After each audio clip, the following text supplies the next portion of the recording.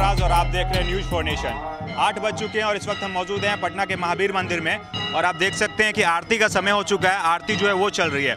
लेकिन हम आपको इस ओर दिखाएँगे कि जो हनुमान मंदिर है कोरोना वायरस को लेकर के काफ़ी कह सकते हैं कि जो हनुमान मंदिर प्रबंधक है वो काफ़ी जागरूक हो चुके हैं। देखिए, जो भी लोग आ रहे हैं यहाँ पे, उनको पहले तो सबसे पहले सैनिटाइज किया जा रहा है, सैनिटाइज़र दे के उन्हें सैनिटाइज किया जा रहा है। उसके बाद देखिए, उनकी स्क्रीनिंग की जा रही है। ये एक मशीन यहाँ पे आई है, जिसमें स्क्रीनिंग की जाती है और टेम्परेचर देखा जाता है कि टेम्परेचर कितना है। अगर टेम्परेचर 98 से ज़्यादा होता है तो उन्हें तुरंत बोला जाता है कि आप जाँच कराएँ। देखिए, जो लोग आते हैं, उन्हें रोका जाता है, उन्हें सैनिटाइज किया जाता है स्क्रीनिंग कराई जाती है। उसके बाद जो लोग हैं तमाम, वो अंदर जाते हैं मंदिर में पूजा करने के लिए। और यहाँ देखिए, आप देख सकते हैं, दीवार पे एक नोटिस भी लगा हुआ है। कोरोना से बचाव के लिए एक दूसरे से दूरी बनाए रखें तथा आवश्यक किसी चीज़ों को ना छुएँ। तो यह साफ़ संदेश देने की कोशिश की गई है।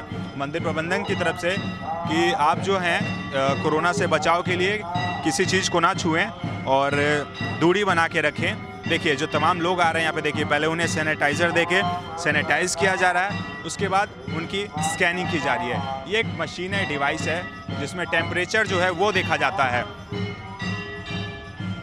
ये देखिए, ये मशीन है, इसमें टेम्परेचर दिखाता है, अभी 97 दिखा रहा है। अगर इसमें 98 से अधिक जब टेम्परेचर जाता है तो उनको बताना होता है कि आप जो हैं, जाँच कराएँ, उन्हें अंदर जाने से रोका जाता है। और अगर 98 से कम आता है उनका तो वो स्वस्थ हैं, कोरोना वायरस से बचे हुए हैं और उन्हें अंदर जाने की परमिशन दी जाती है। तो एक तरह से कहें कि जो राहत बचाव के कार्य हैं, सरकार की तरफ़ से वो लगातार चलाए जा रहे हैं, लेकिन मंदिर प्रबंधक जो है वो काफ़ी मुस्तैद है वो पूरी तैयारी कर रखी है उन्होंने। आ, मंदिर में काफ़ी संख्या में लोग आते हैं। हालाँकि लोगों का आना तो कम हो चुका है। अभी आरती की समय है इसके बाद आरती के बाद जो मंदिर है वो बंद हो जाता है। लेकिन मंदिर प्रबंधन ने पूरी तैयारी कर रखी है। किसी तरह का कोई इन्फेक्शन कोरोना वायरस का मंदिर परिसर में ना पहुँचे, या जो लोग हैं कोई, अगर उन्हें कोरोना वायरस का थोड़ा इन्फेक्शन है वायरस है तो वो यहाँ पे ना आए और दूसरे लोग उससे प्रभावित ना हो पाएँ। देखिए, आज से ये शुरू की गई है स्क्रीनिंग इसमें टेम्परेचर देखा जाता है, उसके बाद लोगों को अंदर जाने दिया जाता है। तो कह सकते हैं कि हमने आपको तमाम जो जगह है, एयरपोर्ट हो, स्टेशन हो, सभी की तस्वीरें दिखाई, विजुअल दिखाया आपको। वहाँ लोगों से भी बात की कि क्या कुछ होता है वहाँ, किस तरीके के, किस तरीके से वहाँ अभी चीज़ों को संभालने की कोशिश की जा रही है, सैनिटाइजेशन चल रहा है हर जगह। और जो बिहार सरकार है, भारत सरकार है, तमाम लोग लगे हुए हैं। कि कोरोना वायरस की चपेट में भारत ना आए। जो लोग हैं, वो कोरोना वायरस के इन्फेक्शन से ना इन्फेक्टेड हो, उन्हें बचाया जाए। इसी को लेकर के जो तमाम कवायद है, वो जारी है। और सभी को निर्देश दिया जा रहा है कि आप जाएँ, लाइन में लग के थोड़ी दूरी बनाए रखें, सभी से आप लोग एक दूसरे में ना सटें और किसी भी चीज़ों को अनावश्यक ना छुएँ। मतलब अगर ज़रूरी है, तभी किसी चीज़ों को छुएँ अगर अधिक ज़रूरी नहीं है तो चीज़ों को ना छुएँ। सभी को ये निर्देश दिया जा रहा है।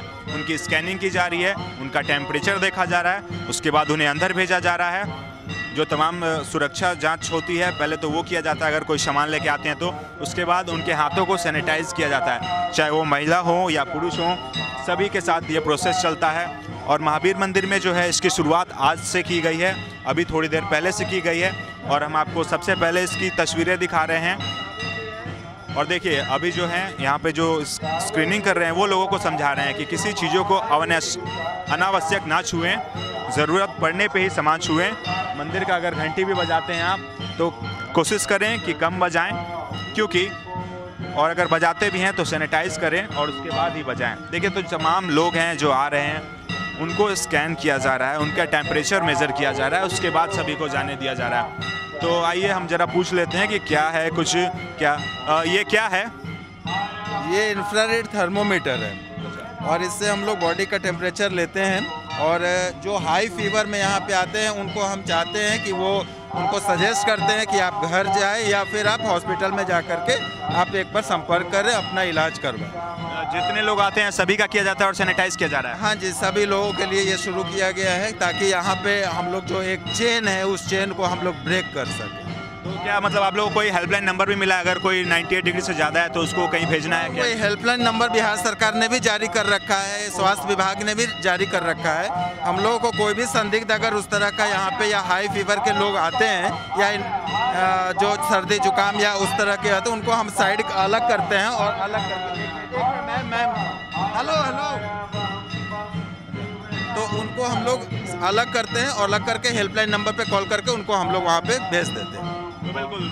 जो मंदिर प्रबंधक है, वो पूरी तरीके से तैयार है। किसी तरह की कोताही नहीं बरती जा रही है। हर जो आने जाने वाले लोग हैं, उनकी जाँच की जा रही है कि उनका बॉडी टेम्परेचर जो है, वो ठीक है, कहीं उन्हें बुखार तो नहीं है, क्योंकि कोरोना वायरस से अभी बचने की ज़रूरत है। तो जो तमाम लोग हैं, कह सकते हैं, बिहार के, भारत के, वो काफ़ी जागरूक हो चुके हैं, काफ़ी कम ट्रैवल कर रहे हैं आना जाना भी काफ़ी कम कर रहे हैं और कोशिश यही कर रहे हैं कि अधिक गैदरिंग ना हो, क्योंकि गैदरिंग में जाने से इसका संक्रमण जो है, वो बढ़ सकता है। तो एक तरह से कहें कि हनुमान मंदिर ने पूरी तैयारी कर ली है कोरोना वायरस से लोगों को बचाने के लिए और जो लोग हैं, जिनको कोरोना वायरस अगर है तो वो मंदिर में ना आए।